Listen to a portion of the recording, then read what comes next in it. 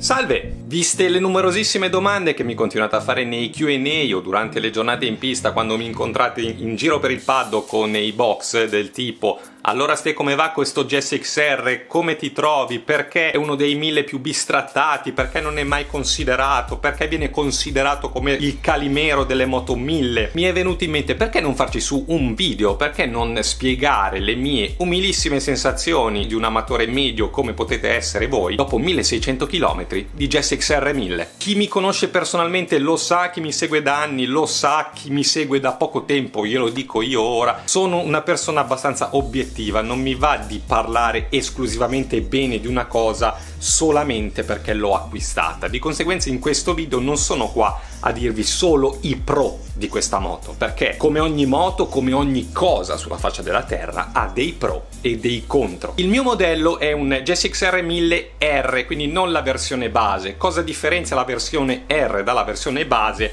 Se non ricordo male, si differenzia in forcella anteriore pressurizzata, perno forcellone regolabile in altezza, tubi in treccia di serie, se non ricordo male la colorazione del dashboard e sinceramente non ricordo altro. Ma tutto sommato le considerazioni e le sensazioni di guida che vi dirò in questo video sono rivolte secondo me anche al modello base perché il 90% degli amatori medi o del mototurista che usa magari un GSX-R 1000 nei giri domenicali molto probabilmente la differenza tra la forcella della versione base e la forcella pressurizzata non la sente neanche quindi Andiamo avanti. Partiamo col dire che non esiste altra moto 1000 con il rapporto qualità-prezzo che ha il GSX-R 1000. Questo è uno dei due motivi per cui io abbia scelto il GSX-R. Il secondo motivo è senza dubbio la solidità e l'affidabilità del motore GSX-R. È indubbio, il 1000 è caro, è caro quando si compra, è caro a mantenerlo e è caro a ripararlo in caso di caduta. Di conseguenza avevo bisogno assolutamente di una moto che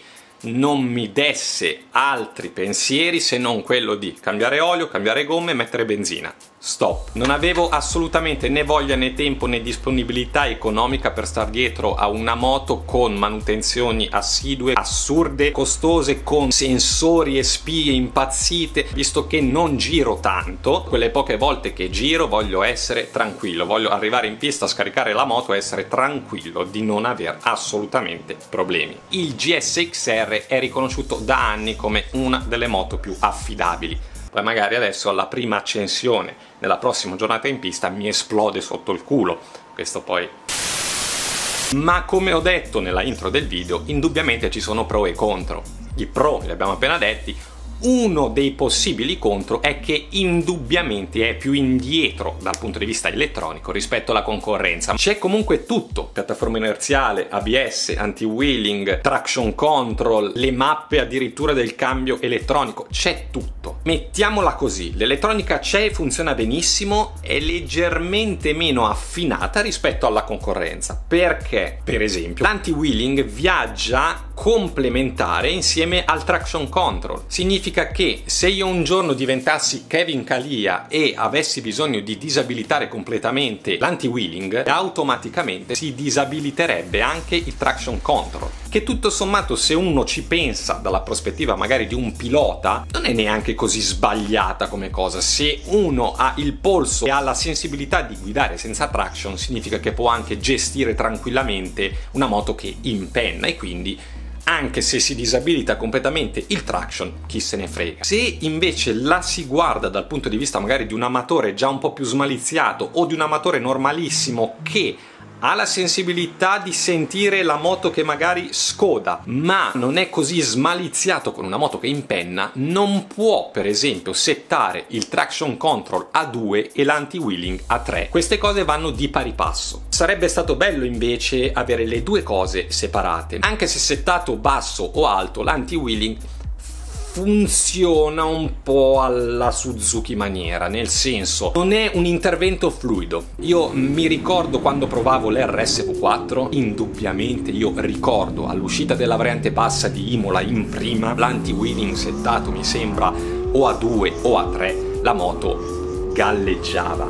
Full gas in uscita dalla variante bassa, la moto galleggiava, non rimbalzava, galleggiava Cosa fa il GSXR? Fa questo.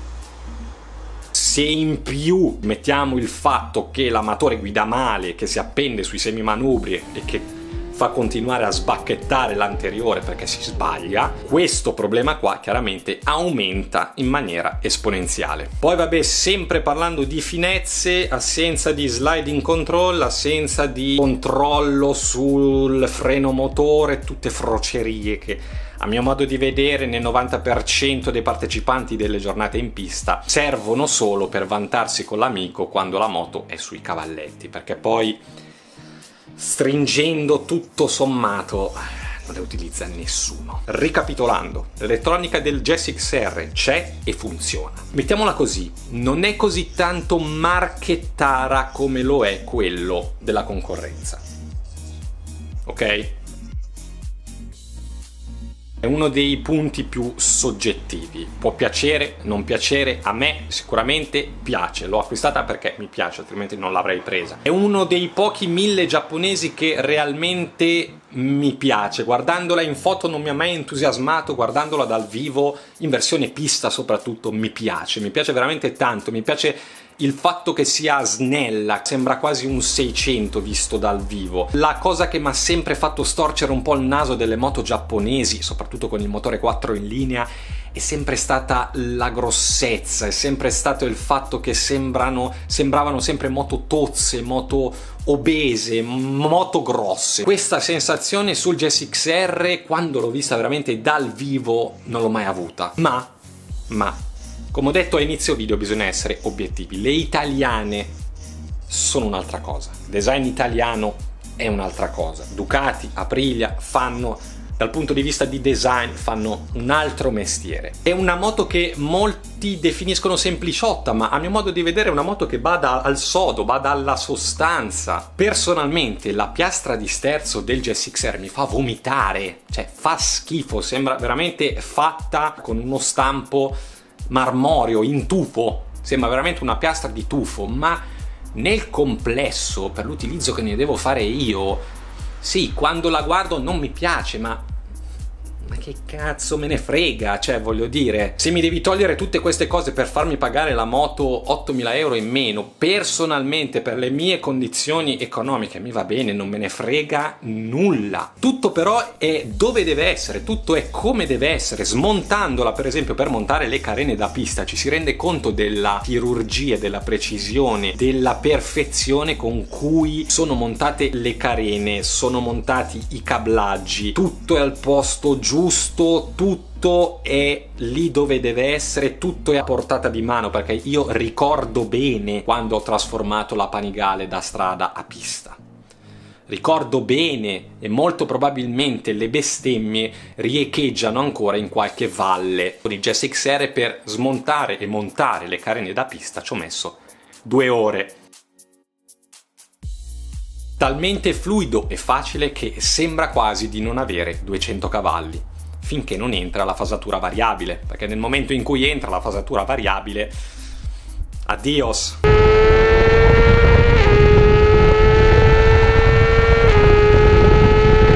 Motore infinito, potentissimo, fluidissimo, facile. In una parola, facile. È un motore che a detta praticamente di tutti, non solo di me che l'ho acquistata, non solo dei possessori GSX-R, è l'unico motore 1000 che vi fa quasi dimenticare di farci manutenzione. Cambio fluidissimo, cambio anni luce avanti rispetto per esempio alla 899 che avevo che per far entrare le marce dovevo prendere a calci il cambio, veramente morbido, fluido e velocissimo. Tornando sul discorso obiettività non posso fare a meno di parlare di un'altra cosa che non mi piace, cioè l'on-off. L'on-off è indubbiamente presente e molto evidente, specialmente nell'utilizzo pista. Quando per esempio si va a riprendere in mano il gas, soprattutto magari nelle curve più lente, l'on-off indubbiamente c'è e si sente, cosa che sicuramente si può andare a migliorare andando a montare uno scarico completo con una mappa dedicata. In una parola, facile moto facilissima, difficilmente mette in difficoltà questa moto, difficilmente non fa quello che le si vuol far fare. Ingresso in curva velocissimo, stabilità in percorrenza. Come ho già detto in un video precedente, mi ricorda molto l'intuitività e la facilità di guida che avevo provato sulla RSV4. Alt! Alt. Stiamo parlando di due moto completamente diverse, non voglio mettere a paragone RSV4 e GSX-R, anche perché una costa 1000 euro in più dell'altra. Ma la sensazione, l'emozione, l'intuitività e la facilità che mi dava l'RSV4 quando la provavo, l'ho ritrovata moltissimo nel GSX-R. Io la prima volta che sono andato a Misano, la prima pistata con il GSX-R, le varianti del parco le faceva da sola. Io giravo la testa, guardavo in uscita della curva curva lei entrava in curva. Veramente mi piace moltissimo il fatto che sia facile. Anteriore granitico, l'anteriore che ti trasmette veramente quello che sta facendo, che sta passando sul cordolo, che sta passando su una traiettoria sbagliata, che è in traiettoria che quindi c'ha grip, ti dà veramente la sensazione di quello che sta facendo. Molti si lamentano per esempio del mono posteriore. Io sinceramente in questi 600 km con i tempi che ho fatto, che non sono tutto rispetto, ma non sono neanche dei tempi merdosi. Per come guido io, al momento ancora non l'ho messo in difficoltà, quindi non posso assolutamente dire niente. E la regolazione è ancora standard, non ho toccato niente del mono, solo dato un po' di precarico alla forcella davanti. Quando prendo in mano il gas in uscita sento subito feeling, sento che la moto si schiaccia e prende grip al momento non allarga, non stringe, non saltella, non pompa. Al momento, per come è la mia guida, per come vado io, al momento non mi ha mai messo in difficoltà. Moltissimi, moltissimi si lamentano della frenata, si lamentano della pompa e si lamentano dell'intervento dell'ABS. Io l'ABS, per non saperne leggere e né scrivere, l'ho disabilitato tirando via il fusibile ancora prima di entrare in pista. Sarei stato molto curioso di provarlo con l'ABS, sinceramente, per verificare appunto se tutte le cose che si dicono sono vere, ha un ABS che interviene molto, che si sente molto, specialmente in pista dove il freno ovviamente si strizza. Moltissimi si lamentano anche della pompa freno, io sinceramente ho pompa freno originale, pastiglie originali, ho tutto originale, solo a Cremona ho notato un po' un allungamento della corsa della leva, si allungava un po' ma comunque utilizzabile. Molti cambiano subito tutto, molti prendono quella pompa e la lanciano nel water, molti cambiano le pastiglie ancora prima di provarle. Io sinceramente, ripeto, ho tutto stock e nel momento in cui scenderanno i tempi, nel momento in cui mi renderò conto che la frenata non mi dà più fiducia, andremo magari a intervenire sulla pompa o sulle pastiglie. Una cosa invece che sicuramente vorrei andare a cambiare è tutto il discorso ABS. Perché? Abilitando solo il fusibile non si va a intervenire proprio sulla corsa dell'olio all'interno dell'impianto. Questo perché? Perché il sistema ABS è così formato. I tubi partono dalla pompa, scendono giù, vanno dentro il telaio, vanno alla centralina ABS, dalla centralina ABS scendono giù, escono dal telaio e vanno giù alla pinza e si sdoppia. Quindi l'olio è costretto a fare tutto questo giro. Quello che vorrei andare a fare io è di andare a semplificare completamente questo giro. Non tanto perché, ripeto, la potenza frenante non è abbastanza, la potenza c'è, ma andare appunto a semplificare e a migliorare il percorso che deve fare l'olio per arrivare alle pinze. Tirar via tutto il cablaggio dell'ABS, fare essenzialmente due tubi diretti che dalla pompa vanno alle pinze. Quindi concludendo, perché questo stramaledetto GSXR non è poi così tanto considerato da parte degli amatori soprattutto in pista. Forse perché nelle comparative, per esempio, soprattutto in pista, non ha mai spiccato, non ha mai vinto le comparative in pista. Ste comparative eh, sono così fondamentali nella scelta di una moto, a mio modo di vedere, per come la penso io, no. Ci sono cose molto più importanti rispetto a una stampata di tempi su una comparativa. Ci sono le sensazioni di guida, c'è la facilità di guida, perché ripeto siamo amatori, che il più delle volte quando va bene va una volta al mese in pista o due volte al mese in pista. Devo salire su una moto che, che mi dà sensazioni positive, che mi faccia divertire. Salire una volta al mese su una moto da 200 cavalli deve essere facile, deve essere divertente, non deve essere un lavoro. Quello che si sente spesso in giro quando si chiede perché il GSX-R è così poco considerato è il fatto che questa moto qua nelle competizioni competizioni nazionali non ha mai spiccato, non ha mai vinto. È vero, non hanno torto, ma bisogna considerare che soprattutto nelle competizioni un ruolo molto ma molto importante lo gioca il sostegno, il supporto della casa madre. Se i vari team nelle competizioni nazionali si accorgono che la casa madre ha a cuore lo sviluppo della moto, sicuramente sono molto più invogliati a scegliere quella moto lì per poter affrontare un campionato. Quanto Yamaha supporta i suoi team nei campionati nazionali? Quanto Ducati supporta i suoi team nei campionati nazionali? E quanto lo fa o lo ha fatto Suzuki? Quindi per rispondere alla domanda iniziale perché il GSX-R non è poi considerato come tutte le altre moto 1000 non lo so, non ho assolutamente le competenze per darvi una risposta certa. Evidentemente uno dei possibili motivi è che sicuramente in Italia qualcosa in determinati uffici non va come dovrebbe andare. Detto questo, io spero che il video vi sia piaciuto, spero che sia stato utile per chi magari è interessato a questo tipo di moto qua. Se non l'aveste già fatto vi invito a iscrivervi, a lasciare un like, a lasciare un commento, a farmi sapere appunto se siete d'accordo, se non siete d'accordo, se siete interessati a questo tipo di modello, se chi ce l'ha ha le stesse mie sensazioni o le ha magari diametralmente opposte, fatemelo sapere ci si vede a un prossimo video. Salve!